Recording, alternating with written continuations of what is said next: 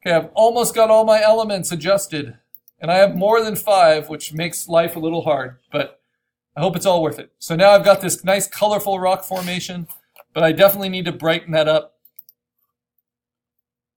to make it work with the foreground I've already established. And I'm even going to uh, push its contrast a little bit stronger. So this is just the classic kind of brightness contrast. In the foreground, you can get away with the most extreme contrast. You still don't want to go to solid black or solid white, but you can really push things to the edge of their histogram. And then I can go ahead and play with color balance and push it more into the, the reds and magentas with the weird greens and the highlights that I think are necessary. The blues.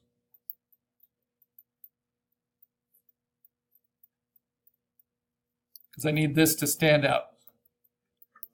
Then the shadows.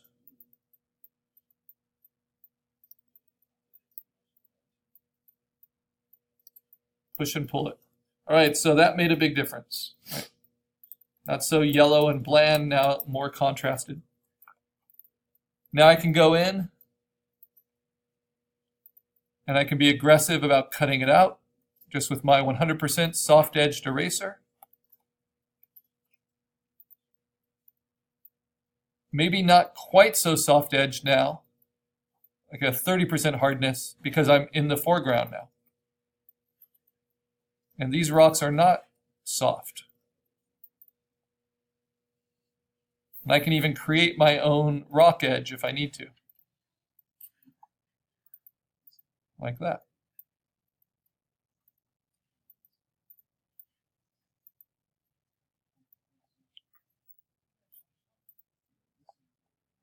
Now, when you're doing it by hand like this, you're bound to miss little sections, and that's okay. We're not getting paid thousands of dollars by a movie studio to deliver this digital background on top of their green screen. If we were getting paid a ton for it, we'd have more than a, a few days to work on it. Or we'd have more people. so we're doing the best we can. But we are getting introduced to the skills and then practicing them. And they will get easier with practice.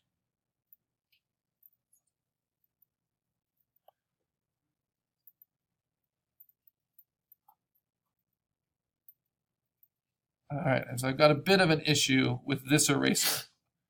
I realize I need to cover up that seam with those rocks. So I'm not going to go all the way to the edge there. Instead, I'm going to burn that down. So remember, dodging and burning is always an option we have.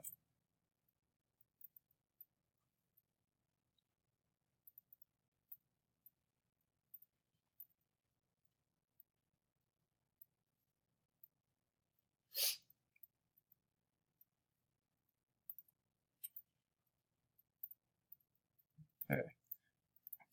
So now I've got this kind of volcanic volcanic rock that's going between those layers. First of all, I can sharpen that a little bit. Help it fit nicely into the scene, like so. But maybe more importantly, I can use dodge and burn on my rainbow rocks here to help that sit more believably, even though I just created all those edges out of nothing. So first let's burn shadows. I'm going to do it to the midtones. And I'm going to really put some distance between these different stratas of this rock.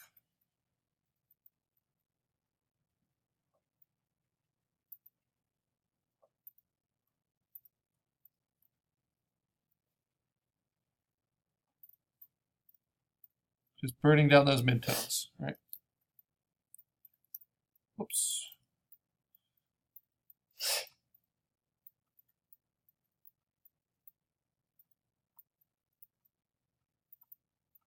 Everywhere I think it needs shadows.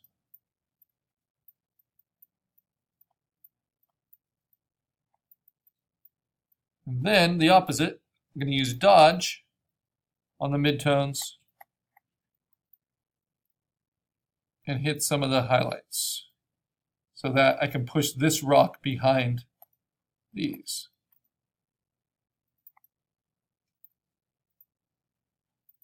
Okay. My tools are lagging a little bit, so I'm just going to do a quick uh, save.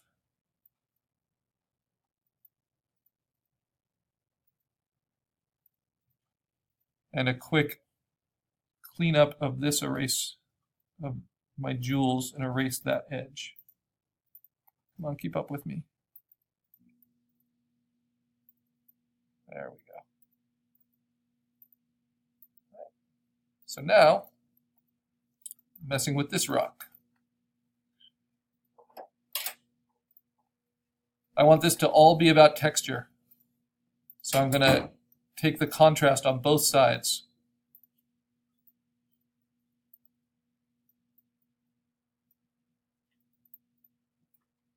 And I will brighten it up. Now I go to color balance.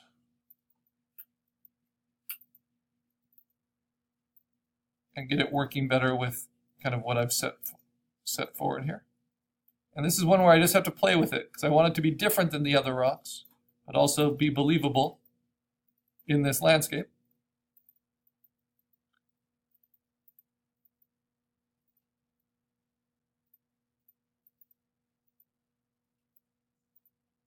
Uh, I just have to play with the sliders in both directions. For the midtones first, and then the highlights and shadows.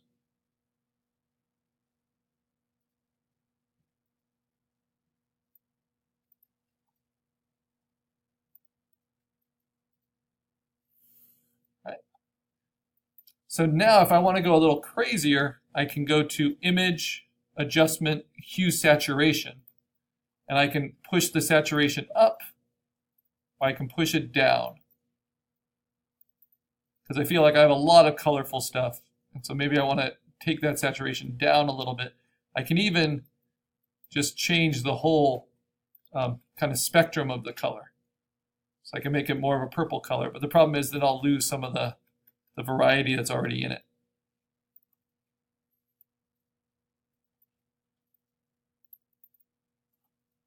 It's the problem when you have control of every aspect of every pixel. It's hard to know what's too much. So I always do Command Z, and it seems like for a pretty subtle change, it's still helpful. Okay, now I'm going to dodge and burn this, and it's my last element. But I definitely need to burn it at the midtones, you know, as it is going behind this other rock structure. And you see, as I'm burning it, it's making it more saturated in certain areas. And that gives me some nice variety. And it's all about, I want strong rock texture here.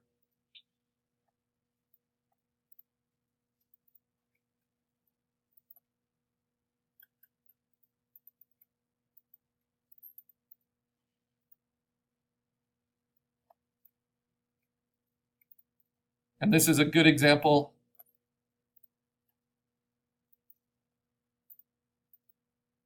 I'm really just creating the lighting.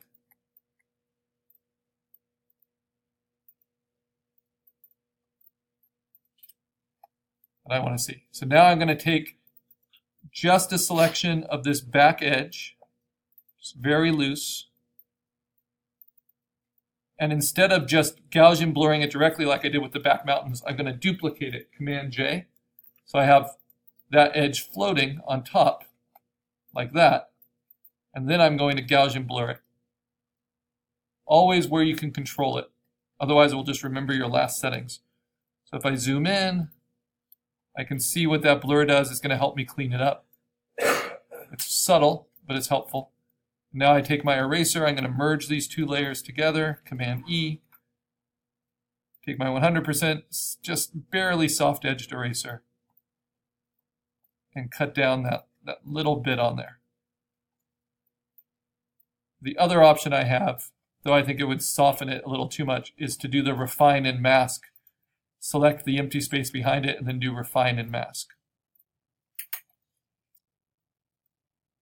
To select and soften it.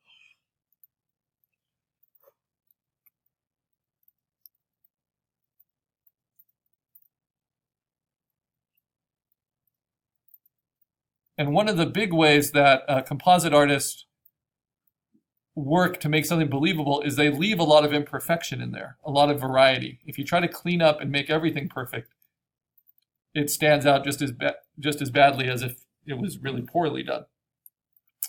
Okay, so last little touch, I can do some internal compositing, which means that I like everything except I feel like this just feels a little un- underserved. So I'm going to take a little bit of another layer that I have like say this stuff, some of which is already cropped out, right? And duplicate it, move it up above. I'll turn my, my mask window on again and move it where I want it.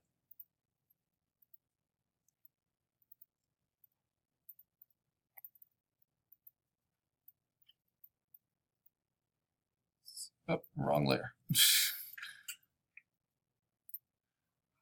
I want what I copied from it.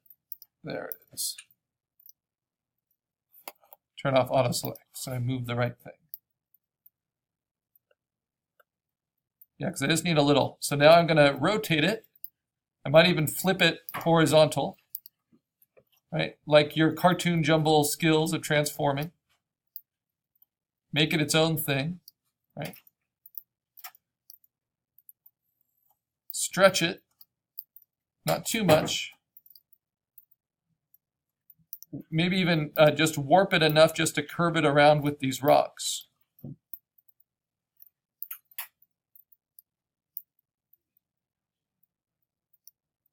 And then I can erase it out and leave some of that. So first I'm going to do it with a large lower opacity to kind of blend it in.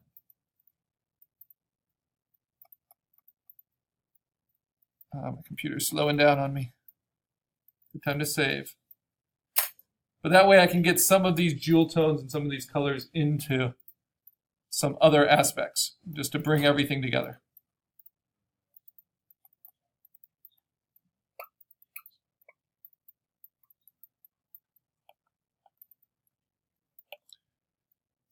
I think a faster way to do this, once my computer catches up, is to select the empty space around my rock here.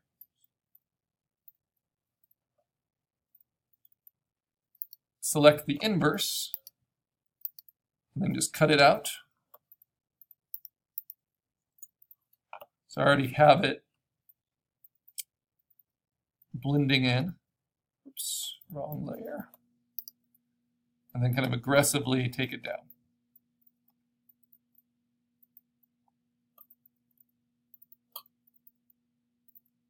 I can also try blending modes. Uh, pin light and soft light work really well for kind of blending colors into textures.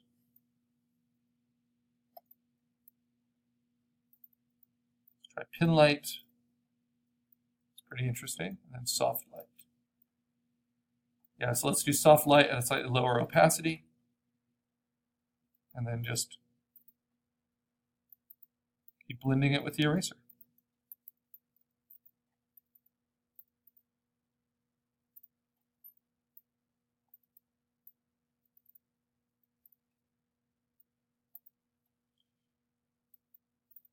So I'm getting these kind of unearthly glows and jewel tones to these desert rocks.